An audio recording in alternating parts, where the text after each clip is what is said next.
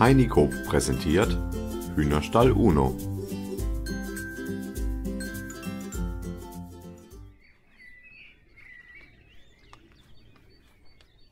Ja, hallo. Schön, dass du hergefunden hast.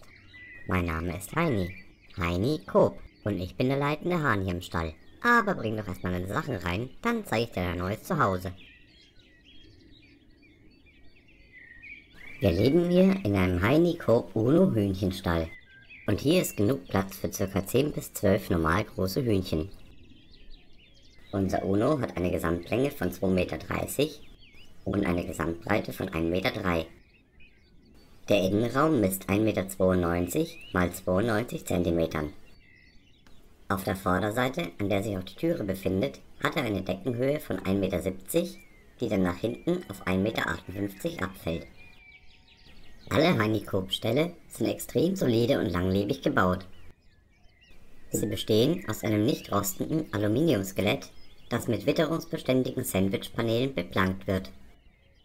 Diese ca. 4 cm starken Sandwichplatten haben in der Mitte einen Hartschaumkern, während das Äußere aus verzinkten, danach farbig pulverbeschichteten Stahlblechplatten besteht.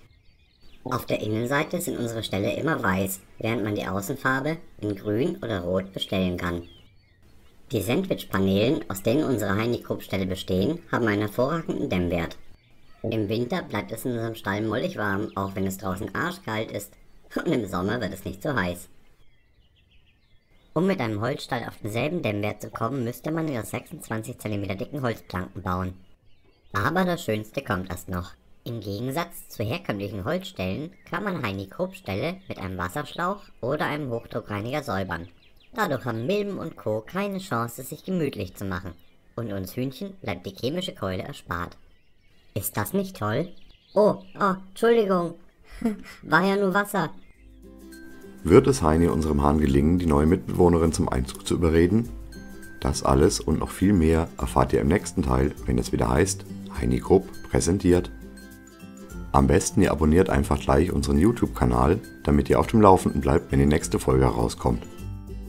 Und wenn es euch gefallen hat, würden wir uns natürlich sehr über einen Daumen freuen. Bis zum nächsten Mal, euer Heini Coop Team.